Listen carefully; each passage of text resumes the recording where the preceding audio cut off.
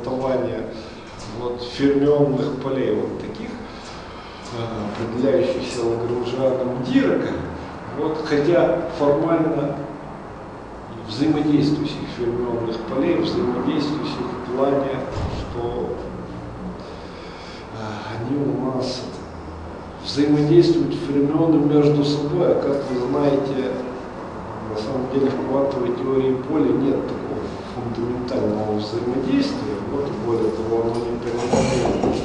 Но просто чисто формально обобщение вот на случай взаимодействующих фермионов в твердом теле, это, это вполне можно применять. В дальнейшем будет, будет видно почему. Вот, то есть для квантовой теории поля это не является фундаментальным взаимодействием, а в физике конденсированного состояния это вполне фундаментальное взаимодействие. Вот, поэтому давайте, значит, так, фермионные функциональные методы. В чем же проблема с фермионами? Вот, значит, а проблема заключается с тем, что вот пока мы с вами рассматривали скалярное поле, то есть бозонное поле, ясно, что, вообще говоря, мы вообще рассматривали поле, так если внимательно присмотреться со спином, со спином 0, вот, значит, либо однокомпонентное, либо заряженное скалярное поле, когда у нас поле было э, комплексным. Вот, а в случае фермионов на самом деле ясно, что при квантовании у нас не коммутационное, а антикоммутационное соотношение, поэтому классический предел для таких величин, он вообще непонятно, что из себя представляет. Коммутационное соотношение, если в одном состоянии там А, А, вот бозон, вообще говоря, ну, на мы пишем единички, а ясно, что это делает весь.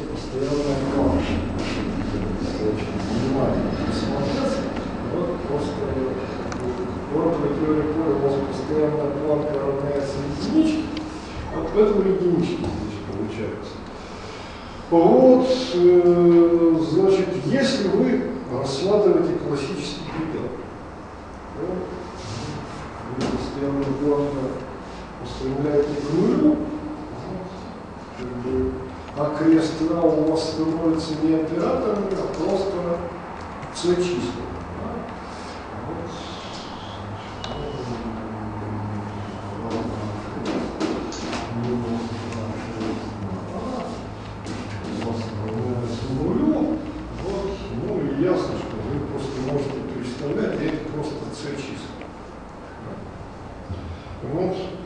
Давайте смотреть, что будет для фермионов.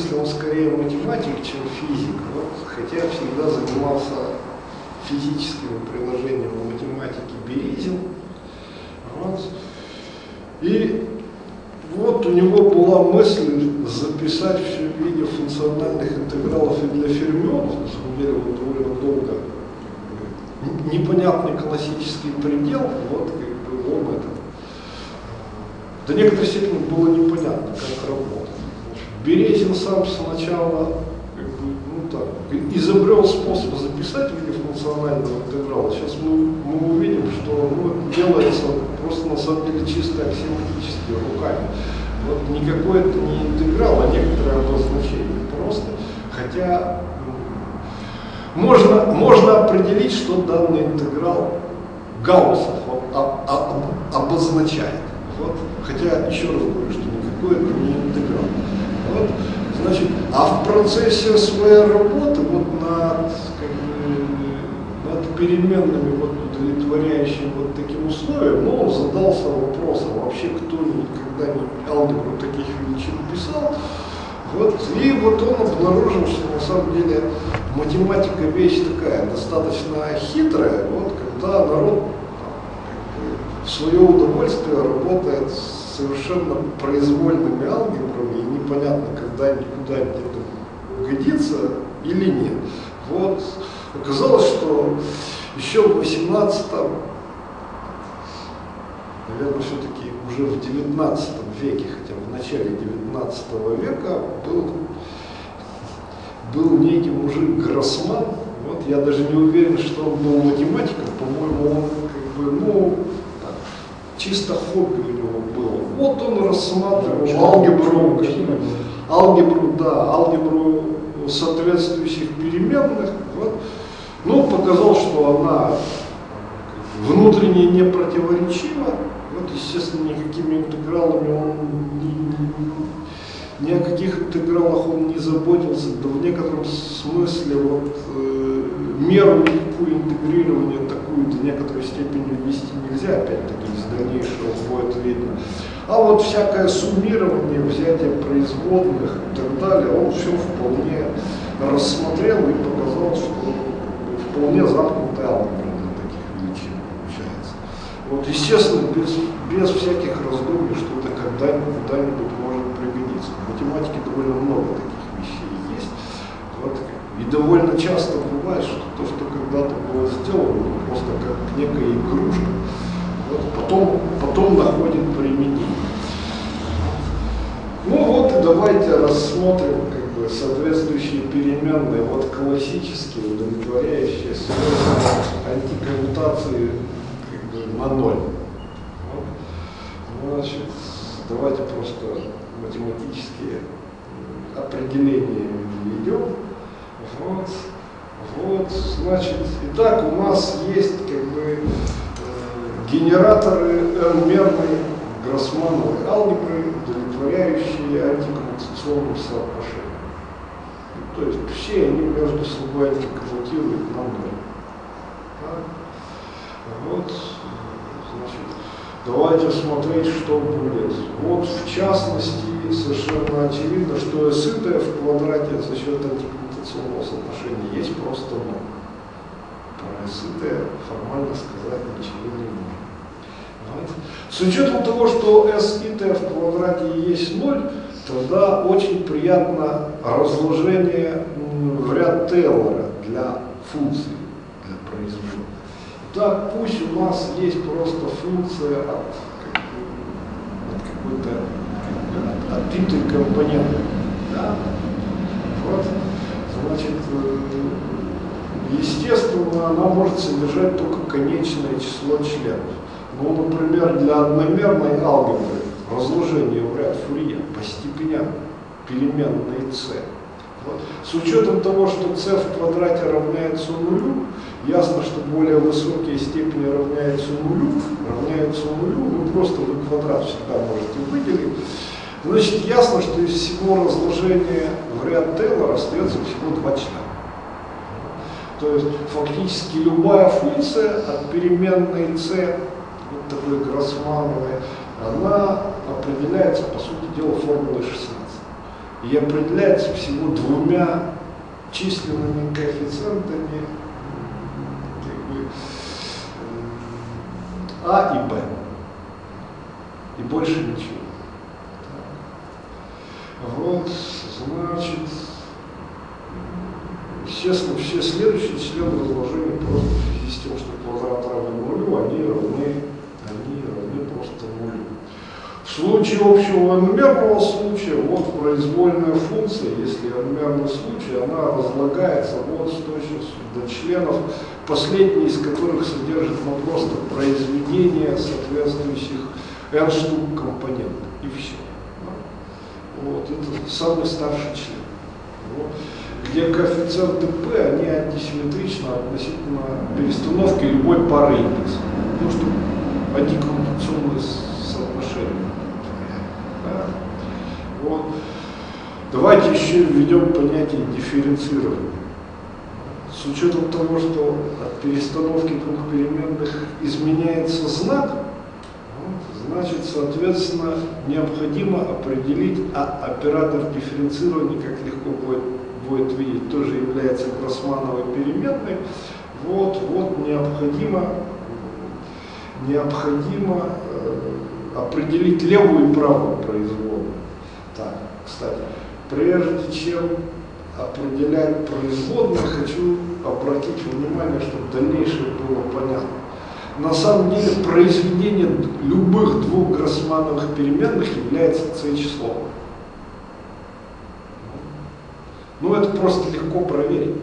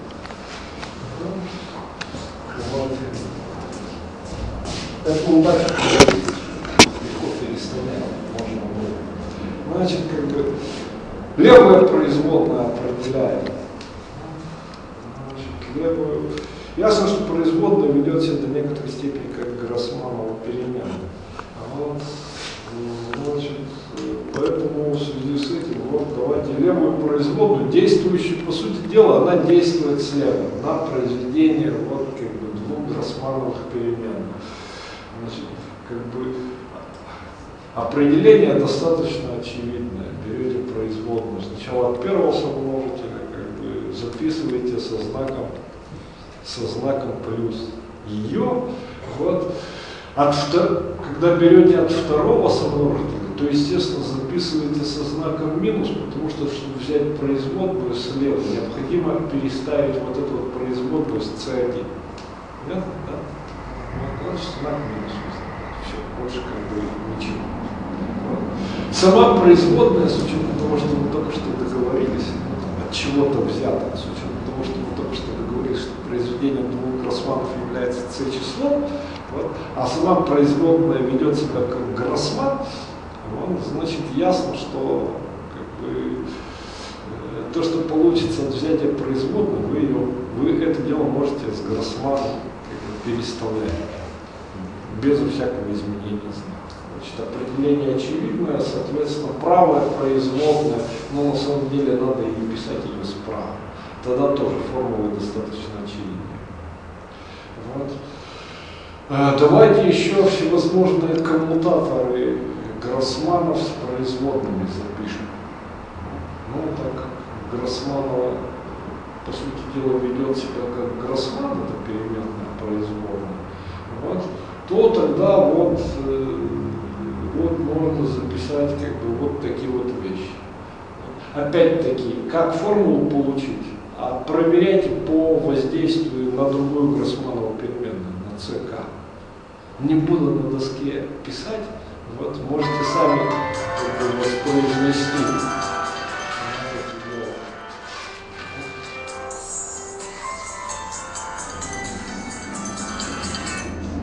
Игорь?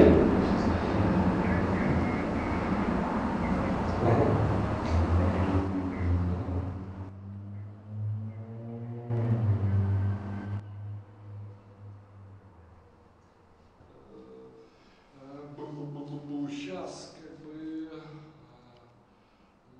там, по-моему, есть оператор line skip, вот, как бы, и есть это.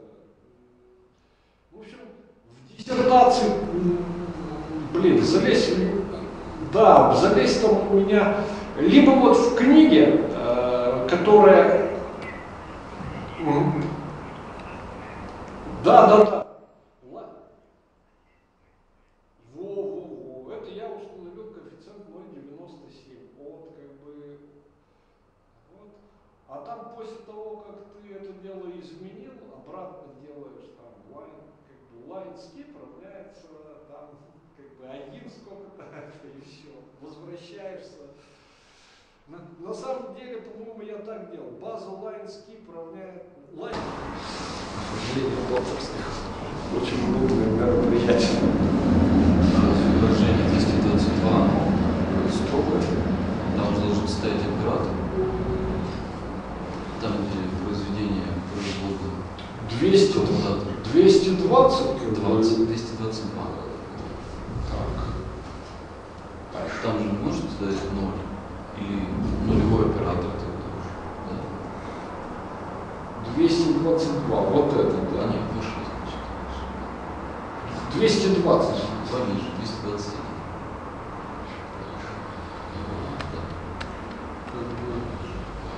Ноль действуйте, и я еще раз говорю, вот все эти формулы проверяются, действуя на, как, действуя на ЦК.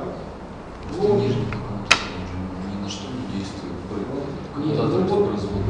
Формально вы действуете на ЦК и убеждаетесь, что получится ну, ноль, значит коэффициент перед ЦК это будет ноль. Вот, ну, сократятся там бывает. Вот, то есть все эти формулы как бы, подразумевают, ну точно так же, как всевозможные операторы, как бы действия, вот как бы на, на еще на еще одну гроссманову переменную.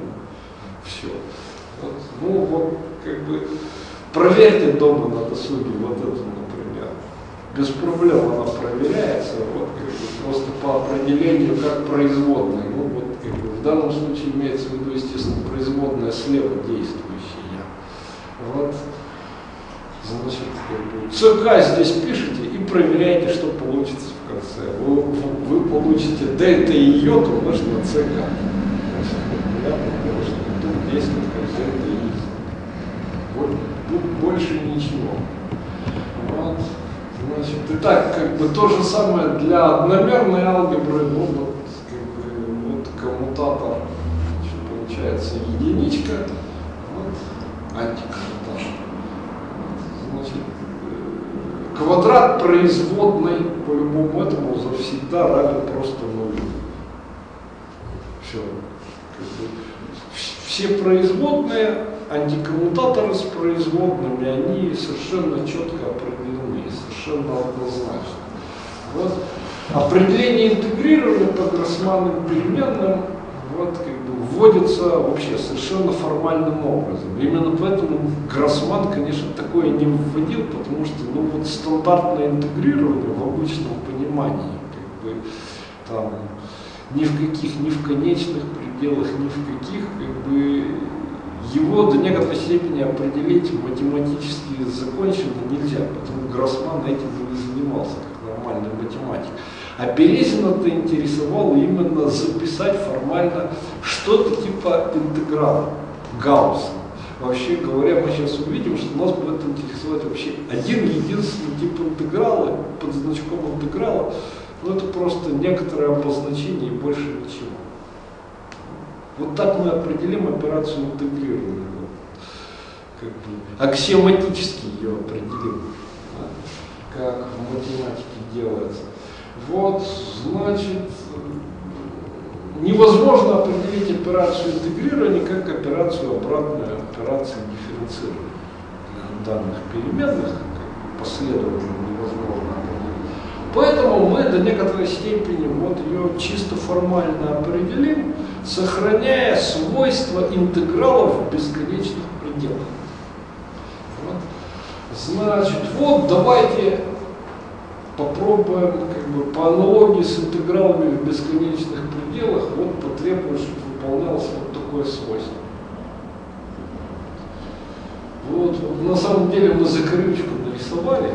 Как бы, это закорючка, в виде, которая похожа на интеграл. На самом деле к обычному интегралу не, не имеет никакого отношения.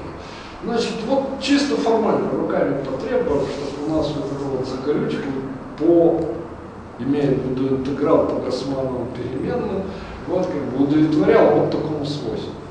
Ну, в принципе, аналогичному, когда вы интегрируете в бесконечных пределах. Да? Вот, значит, чтобы интеграл по Гроссмановым переменным функции А такое? а, Значит, альфа это у нас некоторая, некоторая новая Гроссманова переменная, произвольная.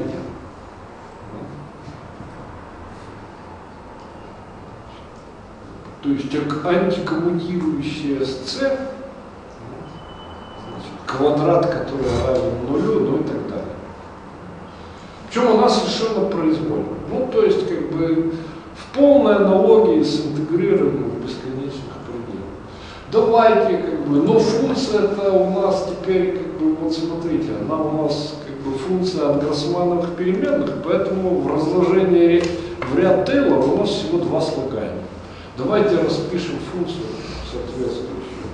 Вот, как бы, в ряд Тейлора. Значит, в результате у нас получится вот такая вещь. Вот. Если мы делаем смещение на произвольную Гроссманову переменную, то у нас ничего не должно меняться. Значит, мгновенно получаем вот такое вот равенство. Ну, во-первых, совершенно очевидно, что тогда у нас получается отсюда вот такое свойство. Интеграл по Гроссмановой переменной c от некоторого коэффициента b умножить на произвольную Гроссманову переменную альфа равняется нулю. Причем альфа это Гроссманова переменная, она как бы от c не зависит. То есть она независимая от c Гроссманова переменная. Вот. В этом смысле, с учетом того, что как бы альфа у нас произвольная, b у нас произвольный c числовой коэффициент, ясно, что тогда у нас как бы единственная возможность удовлетворить вот такому для произвольных альфа и b, вот, есть единственный способ. Наверное, предположить, что у нас просто интеграл по Гроссмановой переменной от единички есть просто ноль. Значит, это первое определение. А второе определение допишем руками. Могли, в принципе, любое число здесь записать. Главное, что у нас интеграл по Гроссмановой переменной от самой Гроссмановой переменной равняется c числу, Вот. Ну давайте его для определенности положим равной единице. Вот. С учетом того, что мы увидели, что э, вот, когда мы будем брать дальше функциональный интеграл, они всегда нормируются некоторым образом. То есть вы делите на похожий там, функциональный интеграл только с источником равным нулю. Все численные коэффициенты, стоящие перед этим, перед этим интегралом, они в любом случае сократятся. Поэтому нам без разницы. Мы могли бы здесь вот отнормировать на единичку такой интеграл, могли бы на произвольное число отнормировать. У нас бы это просто привело ну, к некоторому множителю дополнительному перед Гауссовым функциональным интегралом, который все равно бы в окончательных наших физических ответах нафиг бы сократился. Поэтому определим, дополним еще вот таким определением.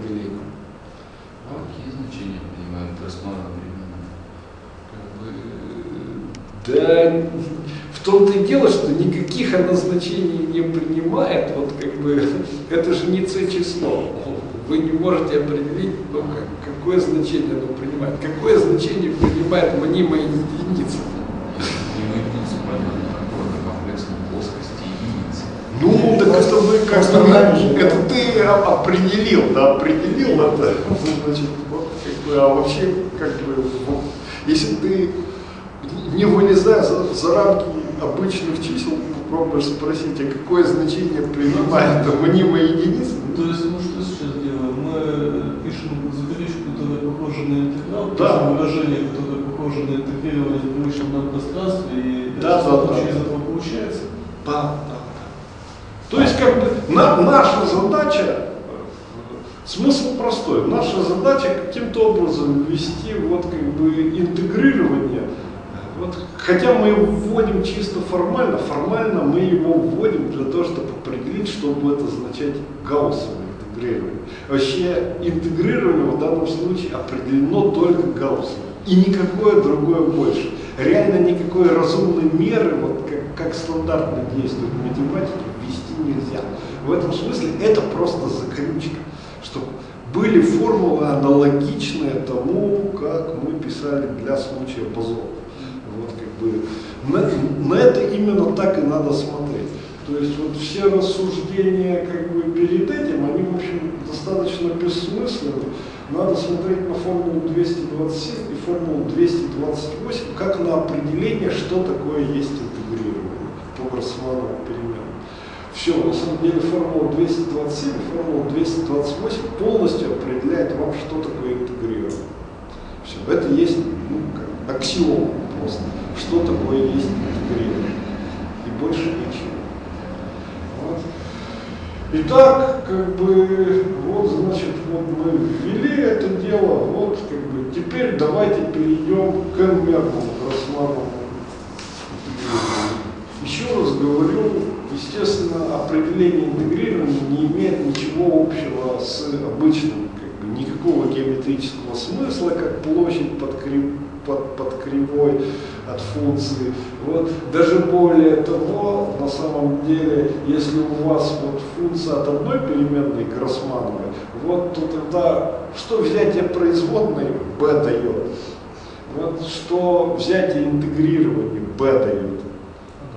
Как бы, э, в этом смысле они вообще просто одинаковые, эти операции, они какая-то не обратная операция. Вот, давайте смотреть, что в, в n-мерном случае, если n разных гроссмановых переменных, n-мерная алгебра, вот, ну тогда аналогично определяем, что интеграл просто по каждой переменной от как бы от не Гроссмана дает 0. Вот. А от Гроссмана такого же дает единичку. Все. Вот. Естественно, другого Гроссмана будет давать 0. Ну, как бы не зависит от него, оно просто вынесется со знаком минус, вот если вы туда переставите, вот как бы и получится 0. Вот.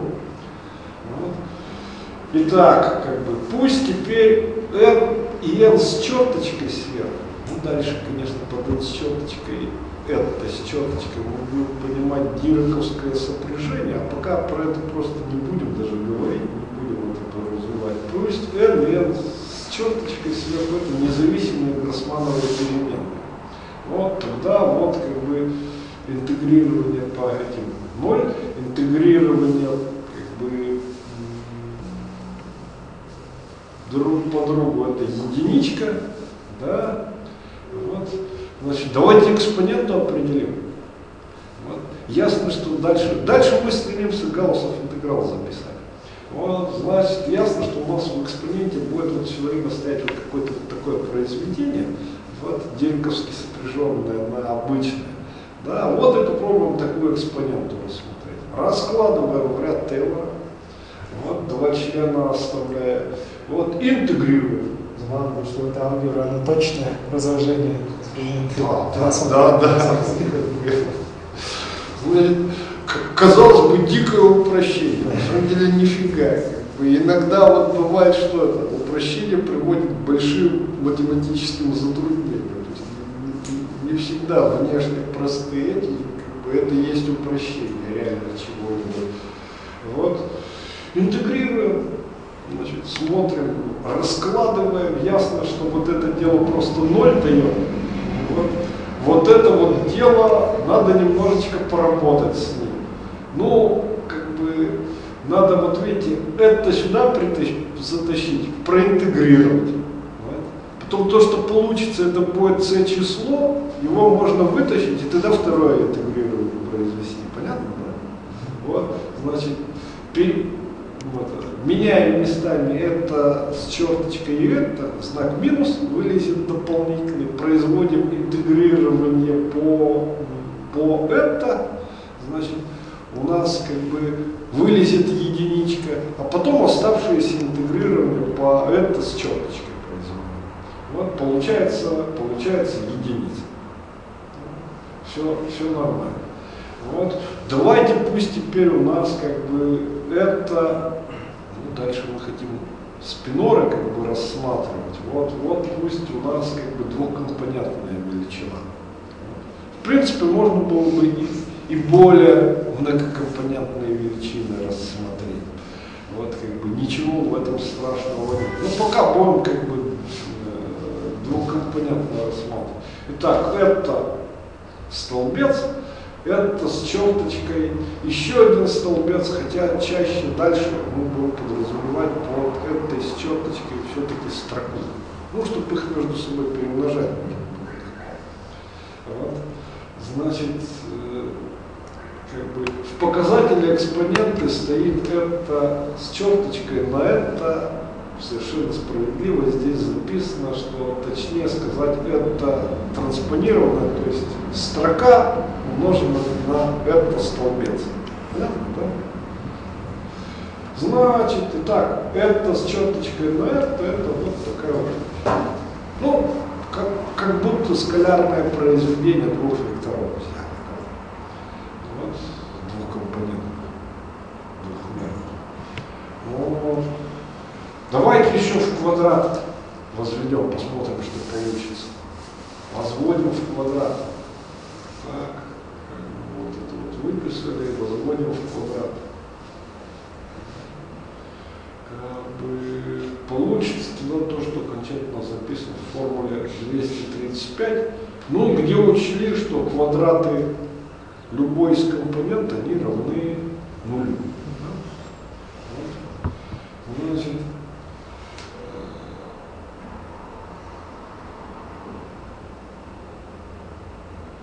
Так, как бы, ну, естественно, более высокие степени это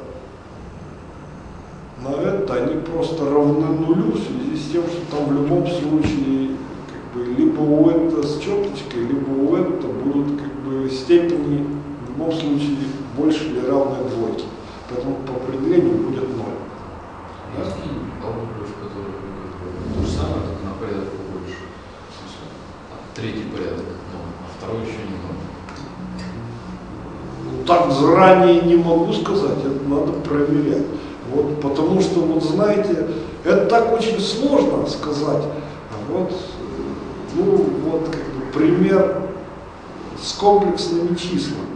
Вот, естественно, после того, как появились комплексные числа, Вот как бы, и с ними оказалось можно работать как с обычными числами, после того, как э, оказалось, что вот там комплексном пространстве очень удобно решать двухмерное уравнение Лапласа, вот, там есть всякие возможности там, делать конформные преобразования и так далее. У народа было гигантское желание написать как бы аналог комплексных чисел для произвольной размерности пространства. Вот. Так вот оказалось, что на самом деле можно придумать комплексных чисел, чтобы работать как с числами в четырехмерном пространстве, но это единственная, единственная размерность, которой можно работать. Для трехмерной нельзя, для больше четырех тоже нельзя. И это можно строго показать математически. Поэтому Не, ну знаю. Котермана, октавы, где 8 комплексов. Вот, э, на самом деле вот в чистом виде как числа, ну, то есть можно было там складывать, как бы умножать и так далее, как бы, вот единственное, двухмерное пространство, четырехмерное пространство. Дальше там можно до некоторой степени похожие на числа величины, но там как бы не совсем полностью э, такие же правила, как для обычных чисел. Вот. А так только две размерности. Почему? Так что не могу сразу же ответить на ваш вопрос. Так. Значит, ну давайте, давайте смотреть, что будет вот с такой вот экспонентом. Значит, вот от экспонента превратится вот в такую вот вещь. Да. В принципе, достаточно легко понять. Ну и давайте интегрирование берем. Теперь интегрирование это без проблем снова провести, с учетом того, что от каждого вот этого куска мы можем проводить интегрирование. Итак, производим интегрирование. Вот. Ясное дело, что значит, от единички у нас получится 0. От этого дела у нас тоже получится как бы 0. Почему? Да по той простой причине, что сейчас дайте сообразить. Знаешь, фактически 4 интегрирования. А Да, да, да. Интегрируется по счету. Да, там как бы 0, 0 каждое слагаемое выдаст, естественно, да, 4 интегрирования, потому что... И останется вот только вот это, когда каждое интегрирование выдаст вам единичку, вот и получится единички. Ну там единственное их тасовать надо правильно, ну, то есть как бы, чтобы и интеграл это стояло правильно, но как бы э, здесь их четыре штуки, Чёрные там четные будут все время перестановки. Вот, поэтому единицу просто получаем. Ну а теперь смысл простой. Наша задача попробовать сюда еще матрицу засунуть. И показать, что как бы чему будет равен вот такой интеграл, когда здесь еще какая-то матрица вот, между это с черточкой и это стоит. Ну, как бы без проблем это сделать. Делаем замену переменных. Вот сейчас увидите, что в связи с тем, как мы определили интегрирование, замена переменных здесь не так, как в обычных интегралах делается. Вот. Значит, у нас аксиоматическое интегрирование определено вот через два этих как бы, верхних равенства. Поэтому и замена переменных не совсем стандартно может производиться. Вот, под, под интегралом я имею в виду. То есть якобиан преобразование к новым переменным он будет иметь совсем другой вид. Итак, вводим замену переменных. Ну, на матрице просто домножаем. Итак, вместо перем- старых переменных это, это с черточкой переходим к новым переменным альфа, альфа с черточкой. С помощью матриц 2 на 2. Без проблем смотрим, как бы, чему, э, чем заменится как бы, это 1 умножить на это 2. Ну, формально, вот в экспоненте то, что стоит. Давайте смотреть. Вот. Вот, как бы, вот такая вот вещь. С учетом того, что А1 на 1 у нас квадрат как бы дает 0, ясно, что остается только вот это вот. Значит, как бы ясно, что это просто будет детерминант матрицы вот, на произведение альфа-1, альфа-2. Значит, давайте смотреть. Но у нас вот такой вот интеграл, есть единичка. Новый интеграл у нас снова есть единичка, потому что так мы с вами определили интегрирование. У нас интеграл как бы d альфа-1 от альфа-1 единичка есть, просто по определению. Если альфа-1 это у нас Гроссманова переменная. Понимаете? Значит, интегралы у нас должны равняться между собой. Отсюда вывод простой, как бы Якобян преобразование у нас выглядит вот так. Напомню, что для обычных переменных вот здесь бы стоял просто детерминант. Другая степень детерминанта была. Не минус единичка, а плюс единичка была. Ну, то есть, как бы,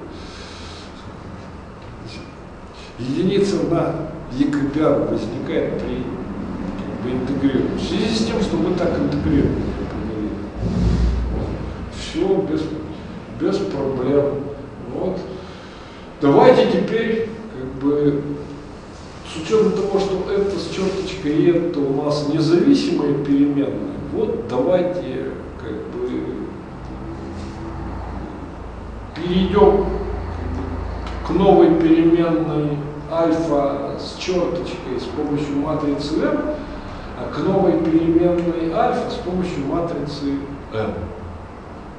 Разными матрицами на самом деле без разницы. Мы хотим просто в середине матрицу получить. Вот между L и N. N с черточкой и это с черточкой и это. Так. Вот давайте смотрите. Так, это с черточкой на это. К новым переменным хотим перейти. Таким альфа с черточкой и альфа. Так, давайте смотреть матрицу M за Гроссман. Перенесли, сделали ее транспонированной. Правильно записали. Вот, теперь давайте переставим вот эту Гроссманову переменную вот с этой Гроссмановой переменной. Знак минус записали. То есть вот, вот весь вот этот кусок переставили вот всем, всем вот этим куском. Знак минус возник. Вот. А теперь переставим между собой вот это вот и вот это вот, с учетом того, что нехорошо. Мы хотим, чтобы у нас все-таки а, альфа с черточкой всегда была строка. Вот. Значит, а сейчас у нас ситуация простая. Вот, по, по идее, вот это должна стать строкой, а вот это вот как бы э, столбцом. Поэтому давайте их сейчас между собой переставим. Без проблем это сделать еще раз, знак минус возникнет. И это станет строкой, а это станет столбцом, как и должно быть. Все. Вот, как бы, вот добились мы, что как бы, у нас вот это вот представляло в новых переменных альфа с черточкой некая матрица альфа. Ну а теперь интеграл записываем. Вот, как бы, э, значит, у нас вот интеграл вот такого вот вида, вот равнялся единичке, да, равнялся единичке. Переходим в нем к, нов, к новым переменным. Альфа с черточкой и альфа. Без проблем переходим. В результате мы получим, как бы, у нас вылезет как бы единица на детерминант от замены переменных, от, как бы, от дифференциала. У нас как бы в экспоненте возникнет вот как бы вместо это с черточкой это возникнет как бы альфа с черточкой альфа и матрица между ними. Вот. И это дело все равняется единице. Поскольку под детерминантом без разницы вот вы один из множителей берете такой транспонированный под детерминантом, вот, то ясно, что вот здесь у вас детерминант вы можете записать от этой же самой матрицы. И смысл простой, мы с вами мгновенно получаем, что вот такой вот интеграл, когда А здесь произвольная матрица, это и есть детерминант от этой, от этой матрицы. Вот это, по сути дела, просто есть, как бы, представляет из себя определение гауссового интеграла по Гроссманову переменной. Больше ничего. Пока у нас Гроссмановая переменная двухкомпонентная, но на самом деле ясно, что вы можете то же самое обобщить на, как бы, на произвольную n-компонентную n-компонентную Гроссманову алгебру безо всяких проблем. Результат получится абсолютно точно такой же. Вот. Теперь надо к полям Гроссманова перейти. Когда у вас бесконечно компонентная Гроссманова переменная, вот, как бы, то есть у вас бесконечное число э, компонент, вот, как бы вместо индекса i вы записываете зависимость от x, вообще говоря, ясно, что дальше мы хотим как бы, под этим подразумевать зависимость от координат в пространстве Минковского, вот, у вас в разных точках переменные Гроссмановые антикоммутируют. Вот, в результате производная такая, что, что в разных точках это есть дельта x минус y, это аналог дельта и йод. Вот. Значит, как бы точно так же определяете, что такое интеграл. равняется нулю, от самой переменной равняется единице, интеграл по Гроссманову переменной. Все фактически мы полностью определили с вами интегрирование. Ясно, что вот здесь вместо такого обычного интеграла возникнет функциональный интеграл. Вот, как бы все. А под детерминантом необходимо будет понимать ну, просто произведение собственных значений вот того линейного оператора, который вот здесь будет между Гроссмановым переменным состоянием. Все, казалось бы, полностью все определили. Вот. Все после этого формально, по, просто по аналогии с тем, как мы делали для бозонов, все записываем. Вот, как бы, просто один в один по, по полной аналогии с тем, как мы раньше делали, записываем сейчас все для, для фермионных полей. Итак, Лагранжан у нас. Он. Да. Вроде здесь все на это проходили. Вот. Поэтому знаешь, что такое дирековски сопряженная величина. Кси это у нас здесь как бы биспинор, четырехкомпонентная величина. Вот. Гамма мю это набор из четырех матриц Дирка 4 на 4. Да? Мю это индекс пространства Минковского, то есть перебираются все эти. Кси Дирковски сопряженная это кси комплексно сопряженная, умноженная с лево дополнительно справа направление. Справа дополнительно на матрицу Дирка нулевую все определено. Итак, Лагранжан Дирака. А дальше производящий функционал пишем. Вот. Как пишем? Вот так. Вместо интегрирования по, как бы, вот смотрите, у нас здесь было интегрирование, интегрирование d альфа, d альфа с черточкой, где и то, и другое было просто ну, вектором двухмерным. Поэтому на самом деле вот здесь двойное интегрирование и вот здесь двойное интегрирование. Теперь у нас будет бесконечно кратное интегрирование, то есть функциональный интеграл. Да?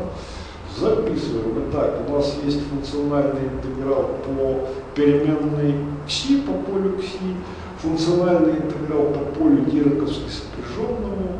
У нас есть экспонента и умножить на Лагранжан, вот этот кусок. Да? Ну, опять-таки, не Лагранжан, а эффективное действие, поэтому мы Лагранжан интегрируем по всему пространству Минковского. Да? И на действие. Ну, вот, как бы. И, наконец, мы источники записали. Но с учетом того, что у нас здесь два поля, КСИ и КСИ Деревковские сопряженные, они, вообще-то говоря, независимы, поэтому два источника все два источника филии. Вот. Но множитель n, который здесь записан, это такой же интеграл в отсутствии источников. Ну, чтобы у нас производящий функционал при источниках, стремящихся к нулю, обращался в единичку. нормированный ему, чтобы он нам заодно и Т упорядоченное среднее после взятия производных определял, да? То есть он нам э, определял э, среднее, как бы, среднее для амплитуды перехода вакуум-вакуум за бесконечное время. Все. Значит, давайте на самом деле, чтобы многократно не писать, давайте вот как бы вот этот оператор, который здесь стоит, дерковский оператор, обозначим буквочкой S минус первый. Значит, потому что сама буквочка S у нас, то есть обратная дерковского оператора, на самом деле в дальнейшем и будет пропагатором. Ну, то есть свободным пропагатором. Я уже вам говорил, что на самом деле то, что стоит во вкладках из полей, это всегда, завсегда есть обратная, обратная, обратная величина по отношению к пропагатору. На самом деле, с учетом того, что сам пропагатор, там, пространство Минковского, ну, это есть ну, некоторый оператор, значит, то ясно, что вот, как бы, эта величина, величина обратная пропагатора. Сейчас мы убедимся, что действительно так. Вот, значит, э, записываем вот такую вот вещь, чисто формально говорим. S некоторая. Обратная величина от него вот, равняется такому дифференциальному оператору. Вот. Тогда производящий функционал у нас имеет вот такую форму 52. Переписываем просто вот, в новых обозначениях все. Вот. Давайте сосчитаем, с учетом того, что мы гауссовский интеграл умеем сейчас считать, вот, сосчитаем соответствующий производящий функционал. То есть выделим все, что зависит от, от источника, чтобы по ним дифференцировать потом. Без проблем, ну вот как это делать? Надо, во-первых, выделить, как бы, минимизировать квадратичную форму. Вот видите, под, э, в экспоненте стоит квадратичная форма. Да? Надо минимизировать соответствующую квадратичную форму. Да? То есть, как бы, вот записать квадратичную форму, взять производную по кси, вот, по кси дерковски сопряженная, приравнять к нулю. Берем производную, приравниваем к нулю, определяем, где у нас максимум будет, вот, где у нас минимум будет у квадратичной формы. Значит, итак, э, кси, отсюда находим кси r, вот, это будет минус оператор s. Ну, мы предполагаем, что у оператора s минус 1 есть обратно. Да? Значит, ясно, что он будет просто s. Вот. Минус s умножить на это, ну а кси в максимум, в минимуме дирковски сопряженное есть минус это умножить на s. Это дирковски сопряженное. Да? В результате, на самом деле, сама квадратичная форма у нас в минимуме будет иметь вот такой вот вид. Берете квадратичную форму, подставляете вместо кси, кси, кси деревковски сопряженная, вот, мгновенно получаете в минимуме вот следующий ответ.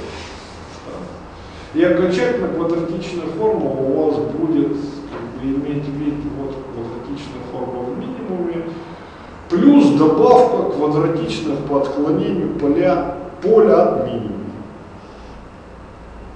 Все, да? Ну, стандартному виду просто квадратичную форму. Вот. Ну а теперь без проблем взять интеграл. Итак, производящий функционал, вот он имеет вот такой вот вид. Как бы в минимуме наша квадратичная форма, она у нас вообще от полета не зависит. Из-под интеграла, из-под функционального выносим соответствующую экспоненту. Да. Вот, как бы без проблем это делается. Она у нас от полей не зависит. Вот, потом мы увидим, что она есть ну, просто вот такой вот детерминант, просто по, по, по определению. Вот. А вот от этого дела без проблем, э, как бы, ну, вернее как, вот в минимуме она у нас имела вот такой вот вид.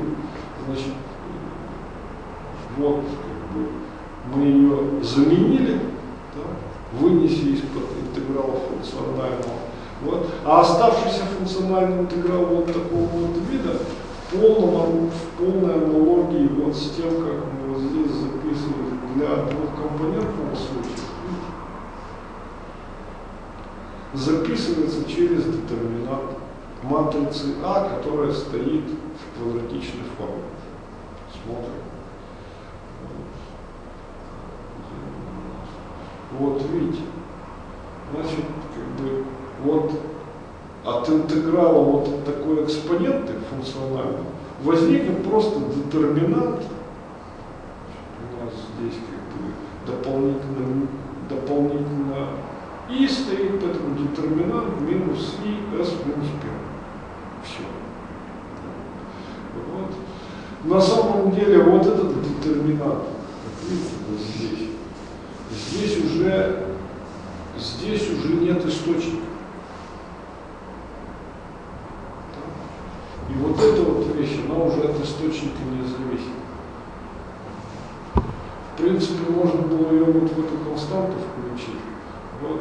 Ну, либо вы можете посмотреть, как бы, либо вы могли сразу сосчитать без, без источника квадратичную форму. Тогда у нас с самого начала была квадратичная форма, и ясно, что вот, вот этот детерминант просто совпадает с множителем n. Смотрите, множитель n у нас был далеко возвращаться. Вот он. он был как раз такой функциональный интеграл без источника. Все. Итак, как бы вот этот детерминант,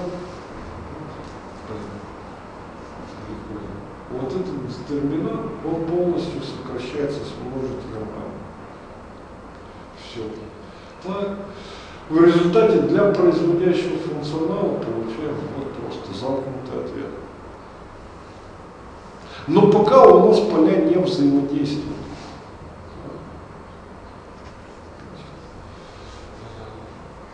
Ну давайте S, во-первых, вначале.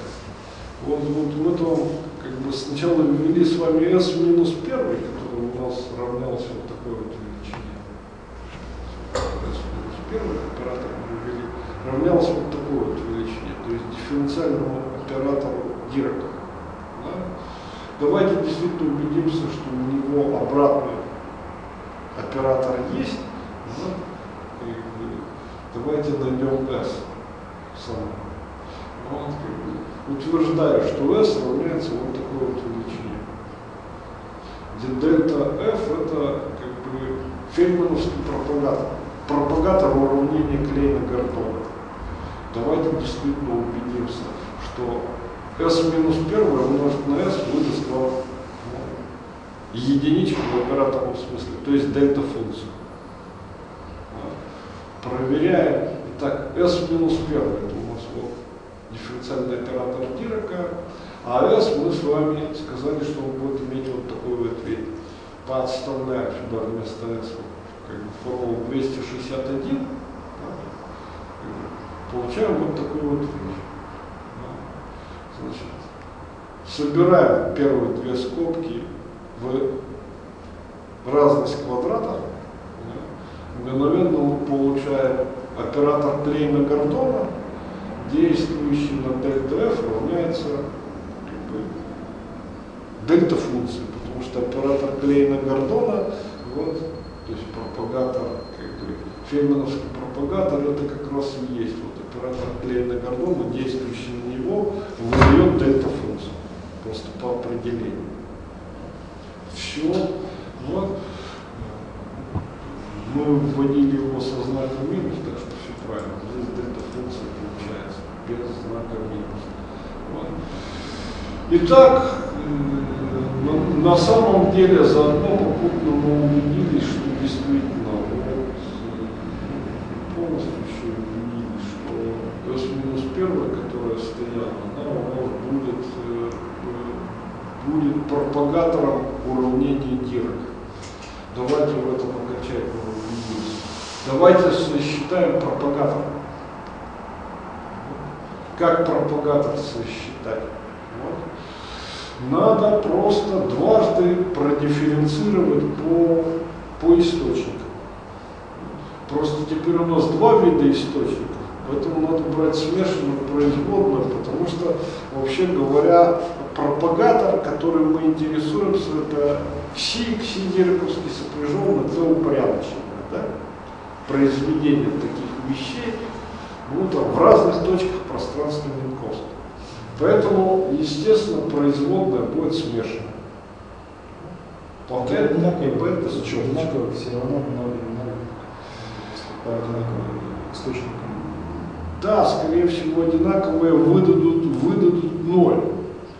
Вот. Это, это- это правильно.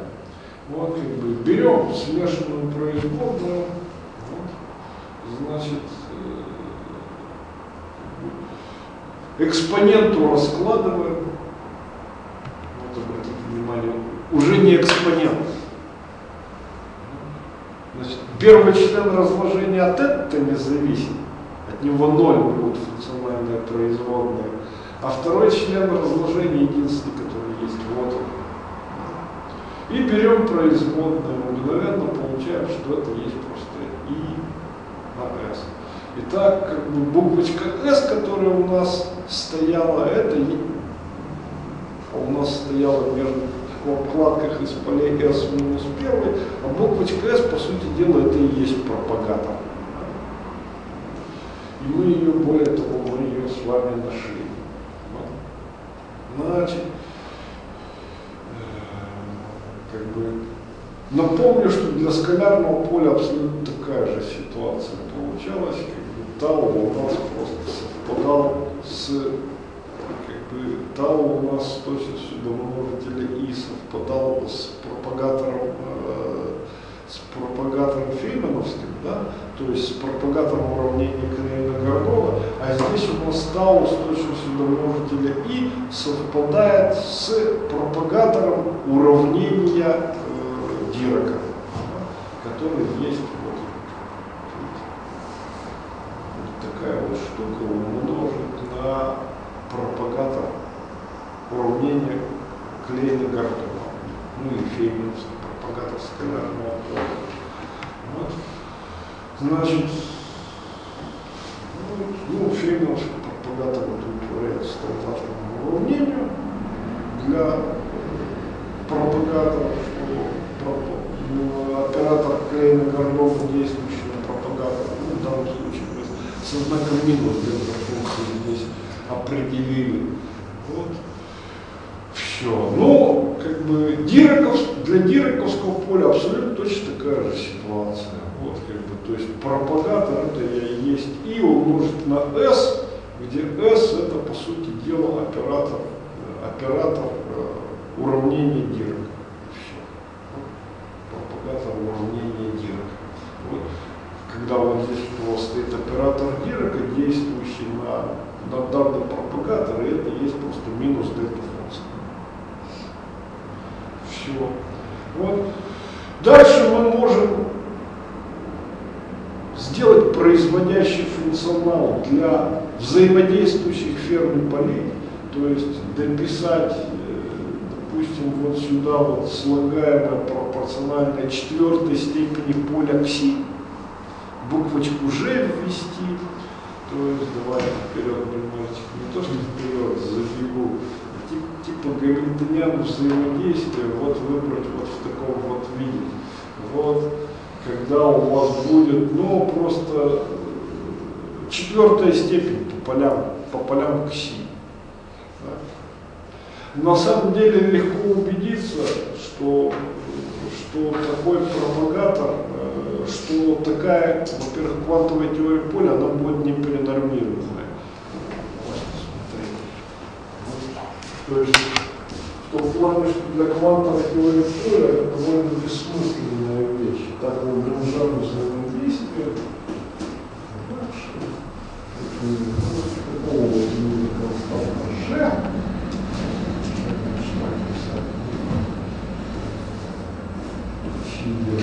сопряженная,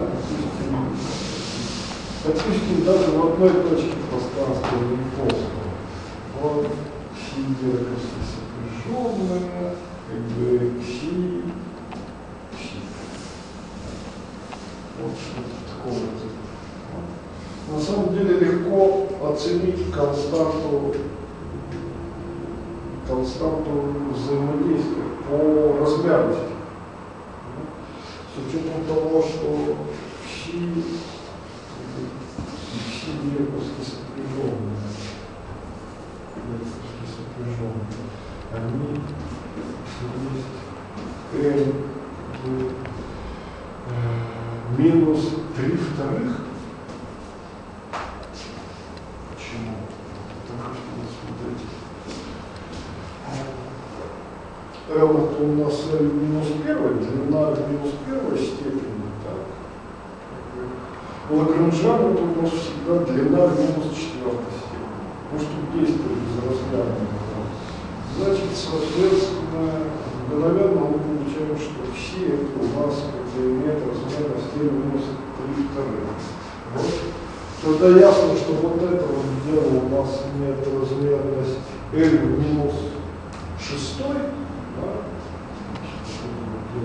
L минус шестой. Вот.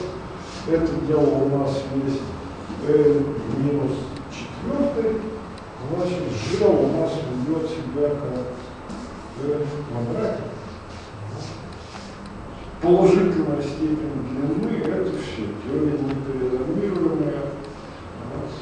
Она может у нас как бы константа связи может быть либо безразмерная, либо быть отрицательной степени длины. Если она положительной степени длины, то ясно, что она на больших энергиях может активно будет расходиться, то безудержно расти, и никаких феноменировок произвести нельзя.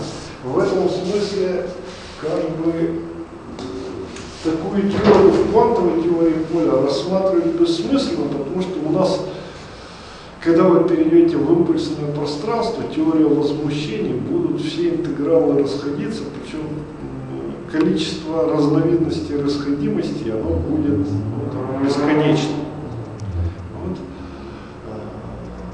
А В этом смысле, в общем, достаточно бесполезно, бесполезно писать. Но зато не бесполезно нечто аналогичное писать для э, в случае, если вы работаете ну, там, как бы в твердом теле. Более того, на самом деле вы можете спросить, а вот как бы, чего нам, казалось бы, для описания чего-то в твердом теле вообще не нужно, не нужно уравнение Дирака, мы можем обойтись нерелятивистским уравнением Шредингера. На самом деле это тоже не совсем правда, потому что вот люди, которые занимаются тяжелыми элементами, ну там, допустим, какими-нибудь телами твердыми, содержащими там плутоний, уран. Вот оказывается, что вот э, когда вы пишете, ну там, допустим, тот же самый ODA, в принципе, с, с учетом того, что как бы, тяжелый элемент, оказывается, что для э, уже для внешних оболочек уже скорости такие у электронов на этих оболочках, что необходимо учитывать, категорически необходимо учитывать релятивистский эффект. И на самом деле, по идее, для аккуратного описания тяжелых элементов, даже в рамках идеи, необходимо учитывать, рассматривать уже уравнение Дирака, а не уравнение Шрёдингера. Вот, как бы, там релятивистские поправки уже очень, очень существенны. В этом смысле для описания там, электронных свойств, вот там, как бы, металлов и сплавов, содержащих тяжелые элементы, реально необходимо рассматривать вот уравнение Дирака, соответственно, работать вот, как бы, для пропагаторов вот, такой, вот, вот таких вот вещей. Но ситуация там существенно упрощается тем, что, ну, во-первых, мы здесь все пишем в пространстве Минковского, там производные по времени и производные по координатам входят неравноправным образом. Но это ладно. Как бы теория бы все равно не перенормирована получилась. А проблема как бы снимается тем, что там всегда есть минимальная длина. Вот. А именно всегда есть параметр решетки, который вам автоматически обрезает интеграл по импульсу. Можете сказать, вот как надо искусственно вводить это обрезание. Не, ничего подобного. Ну-ка интересно, вот теоретики могут мне сказать, вот, вот там, допустим, вот принципиально, может ли где-нибудь в твердом теле фигурировать для электронов спектр P в квадрате поделить на 2m?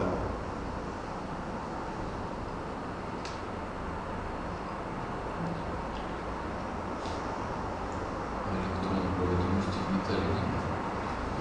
Вот, вот. Ну, Щелочной да, для типа, типа натрия. Ну, вот как бы, вот представьте себе металл. Металл это твердое тело, как бы. Там ясно, что возникнет зонная структура. Вот как бы все разобьется на зоны. Вот как бы я имею в виду из электронов в зоне проводимости. Ясно, что как бы нас там для описания электронных свойств интересует только как бы вот электроны из зоны проводимости правильно ли, как бы, то есть насколько разумно описывать зону в зоне проводимости электроны спектром P в квадрате на 2r. Ну, вы знаете, что он, конечно, описывается не таким спектром в твердом теле, но вот как бы вот кто-нибудь может мне объяснить, почему категорически неправильно P в квадрате на 2r? Хотя вот дна зона, оно именно вот вся зона категорически не может описываться спектром P в 2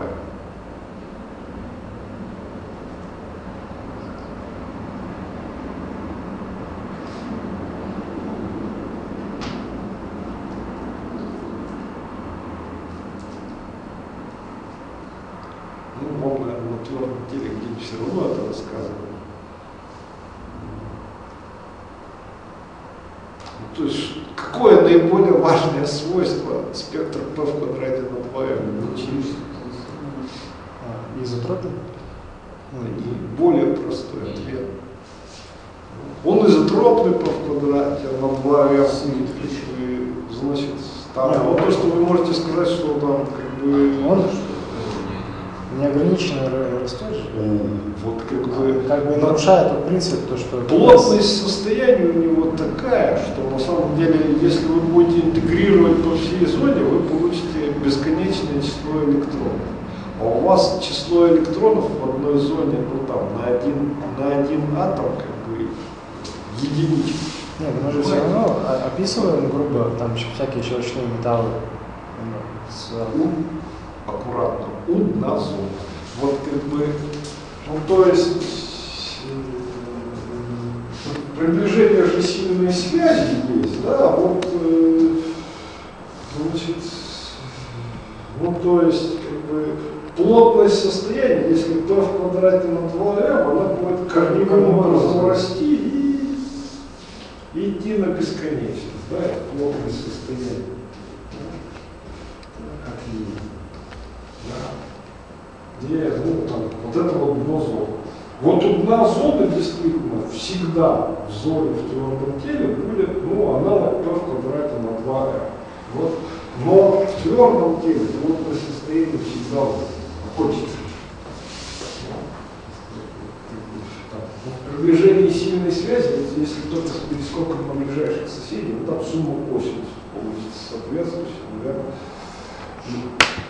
многие знают, да, как бы главное свойство, что она вот закончится вот здесь, и будет описывать просто количество состояний, которые есть в зоне. Оно всегда в твердом теле конечно. Вот как бы. И на самом деле вот решетка, он навяжет, что вот будет всегда конечная зона. Да, вот, вот как бы. То есть в этом смысле автоматически, только если у вас решетка, будет правильный спектр, и у вас автоматически все интегралы будут сходиться. У вас автоматически, как бы, какой бы вы, какой бы вы, модель не рассматривали, не рассматривали, если вы введете разумный спектр, так что плотность состояния будет ограничена по энергии, вот, и внутри зоны под конечной снова Но состояние, водное состояние мы же всегда, как обычно, руками хорошо ограничивали, там до энергии. Нет, это, пожалуйста, вы можете ее... Расходимости здесь не будет, если мы так будем Да, нет, вы можете ограничить ее руками, но она на самом деле и как бы и автоматически всегда ограничивается.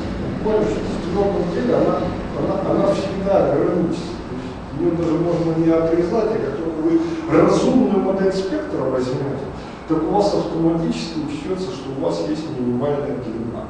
Я в этом смысле имею в виду. А в чистом виде p в квадрате на 2m вот нельзя применять.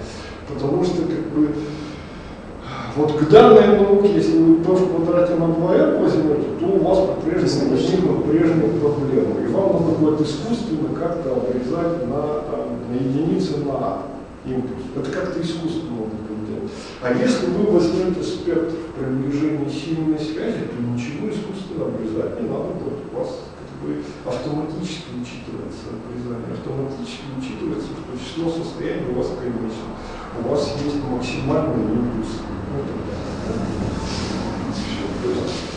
В этом смысле проблем с расходимостью нет вообще никаких, перенормированность никакую, перенормировку никакую делать не надо и так далее. Потому что в следующий раз мы, запишем, да, запишем конкретного жанра, если до этого дела дойдет. Ну а чисто формально в такой науке точно так же надо действовать. Вот вы точно так же вот слагаем это пропорционально. Если вы хотите писать кси в четвертой модель, вот как бы вам надо вместо Лагранжана взаимодействия вот эти вот лишние степени кси, более высокие, записать вот в таком вот виде, как Лагранжан взаимодействие вместо соответствующих кси их у вас воспроизведут вот соответствующие производные по источникам, ну, точно так же, как было в случае скалярного поля. Вот. А здесь возникнет опять-таки э, производящий функционал с источниками, но уже такой нулевой, без взаимодействия. В результате вот для полного производящего функционала вы имеете просто вот такое замкнутое вполне выражение. Вот все. Производящий функционал как бы нулевой без взаимодействия мы с вами только что сосчитали. Считаете нужное количество производных, раскладывая вот эту экспоненту по Лагранжану взаимодействия с соответствующей константой, порождаете теорию возмущения. Вот. Ну там можно как бы немножечко по-другому делать, если у вас взаимодействие более сложное, чем кси в четвертой. Вот. Значит, ну просто еще раз говорю, в самой квантовой теории поля достаточно бессмысленно, вот, а как бы э, в физике конденсированного состояния совсем не бессмысленно. Порождаете, соответственно, диаграммную технику. Основное отличие от диаграммной техники в случае бозонных полей, что каждой петле, как бы аналога того, что там было э, пропагатор фермионный э, с нулевым аргументом, то есть петля. Вот. В данном случае как бы в каждой петле дополнительно появится множитель минус единичка. Вот. И произойдет это на самом деле вот из-за того, что вот функциональная производная вот такая со знаком минус по сравнению с функциональной производной, если вы это и это с четочкой местами поменяете. Да? Ну, это приведет к тому, что у вас как бы возникнет знак минус в петле фермионной дополнительно. Все. То есть реально как бы вот это вот выражение, оно просто позволяет чисто формально воспроизводить все диаграммы, то есть э, воспроизводить э, всю теорию возмущений со всеми коэффициентами чисто формально, не расписывая это, как вот вы делали в, вот как вам рассказывает Михаил Владимирович. Так. Вот. э, Иногда бывает удобнее действовать вот так, особенно когда вы рассматриваете довольно сложную опять-таки, диаграммную технику, когда сложное коммутационное соотношение. Вот, значит,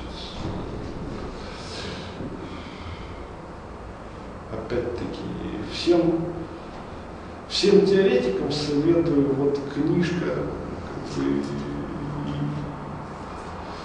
вот, Скрябина Изюмова, вот, значит, магнитная модель Кроме того, что там есть как бы изложен функциональный подход к ряду магнитных моделей, вот это ладно, как говорится, будете вы этим заниматься, не будете вы этим заниматься. Просто первые 15 страниц его введений перечислены и аккуратно так рассмотрены словами, как бы, по сути дела, все магнитные модели, которые встречаются в физике конденсированного состояния.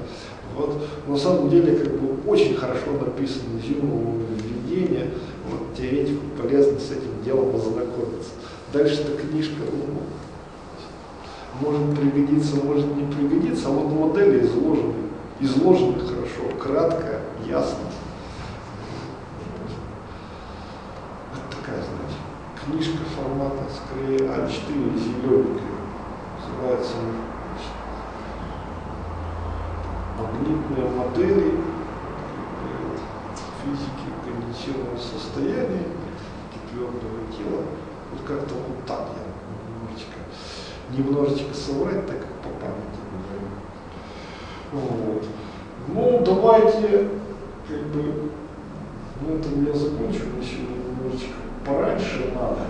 Вот, значит, давайте порешим, что в следующий раз будем. Либо применим фи, э, как бы, фи в четвертой к рассмотрению э, ну, там, теории критических явлений, то есть фазовых переходов, либо попробуем э, писать функциональные интегралы там, в разных моделях, которые могут в физике твердого тела встречаться. Там. Я начну, а дальше, а, а дальше вы попробуете, как на ваше усмотрение. Попробуем что. Ну, для каких-нибудь как бы, простейших моделей физики конденсированного состояния записать, во-первых, записать производящие функционалы, а во-вторых, записать, ну, как бы в конечном виде, в виде функциональных интегралов, э, пропагаторы, которые там обычно интересуют народ. Хороший.